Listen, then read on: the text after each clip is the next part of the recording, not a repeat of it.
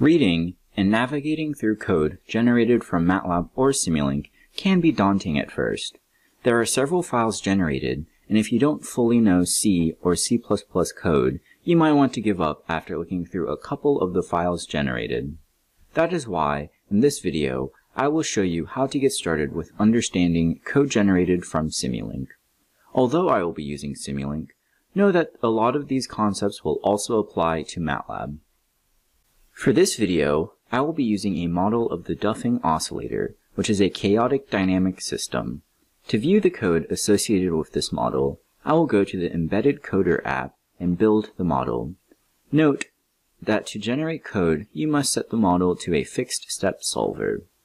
When the model is finished building, the C code generated will appear in this right-hand panel. We can navigate through the files generated using this drop-down menu.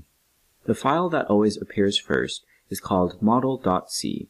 In my case, this is duffing.c because the name of my model is Duffing. Before diving into the code, I wanted to point out all these comments.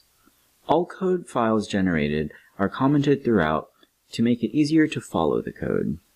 The model.c file contains the entry point functions to our model. There are three functions that will always be generated in this file which are the initialize, step, and terminate functions. Scrolling down, we first see the step function, which describes how the blocks in our model relate mathematically. Let's explore this by looking at line 192, which corresponds to the subtract block signal. I know that this line corresponds to the subtract block first because of the name. All variables generated inherit the names of the block in the model. I can also hover over the variable in the code and the block will get highlighted. This feature is called traceability and it also works in reverse. When I click on the subtract signal, line 192 is highlighted in the code. As I said before, the step function shows how the blocks are related mathematically. We can observe this by looking at the gamma signal, which is cosine of omega, which is 1.4, multiplied by time, and all of that is multiplied by gamma, which is 0.32. It's a little hard to see this correlation at first, because all the math for the subtract signal is being done in one line of code. So let's change that. Going into the model settings, I will disable the Enable Local Block Outputs option. I will also change the parameter behavior from inlined to tunable. What this will do is change our parameters such as gain blocks from static numbers to variables that are defined in memory.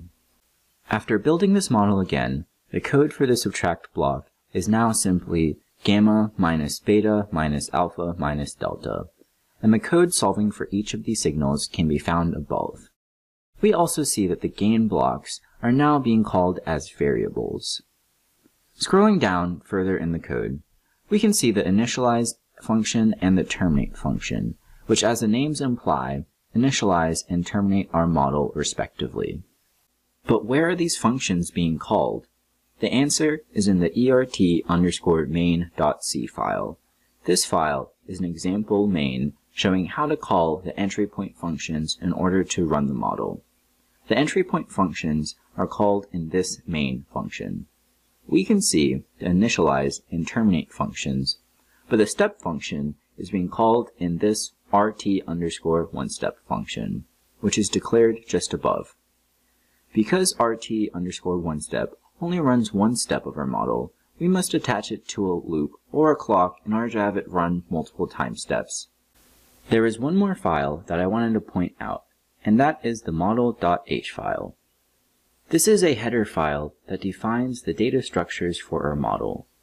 Scrolling past the macros, we see the definition of these structures, which declare the variables used for the blocks and signals in our model. The structures are separated by the block type. For example, gain and constant blocks are parameters. This output block is an external output, and the signals coming out of the blocks are block signals. We can see what each structure is declaring by the comment above each structure definition. Something to point out about these variables is that many of them are being declared as real underscore t, which if you know C code isn't a real data type. So what kind of data is this? By hovering over the real underscore t variable, we can see that it is a type definition of a double being declared in the RTW types header file. By clicking on this code, we are taken to the RTW types file, which we can see contains the definitions of all the data types that Simulink uses. With that, you now have an overview of how to read and navigate code generated from Simulink. But this video only scratches the surface of code generation. If you would like to know more or have any unanswered questions about code generations from MATLAB or Simulink, check out the link in the description for the code generation video tutorial series.